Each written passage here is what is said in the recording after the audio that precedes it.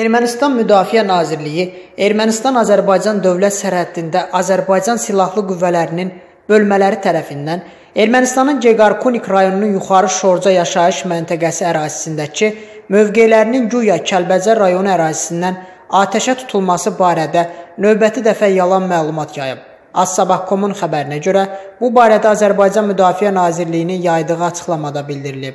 Qeyd olunub ki, mayın 25-də günorta saatlarında Ermənistan Silahlı Qüvvələrinin şəxsi heyətlə dolu 7 yük maşını sərhədin qeyd olunan sahəsinə yaxınlaşmağa cəhd edib. Bölmələrimiz tərəfindən görülən xəbərdarlıq tədbirləri nəticəsində qarşı tərəfin hərəkətinin qarşısı alınıb birmənalı şəkildə bildirir ki, bölmələrimiz tərəfindən qarşı tərəf istiqamətində heç bir atəş açılmayıb. Sərəncamımızda olan məlumata əsasən erməni hərbi qulluqçusunun ölümü ilə bağlı insident bədbəxt hadisə nəticəsində baş vermişdir.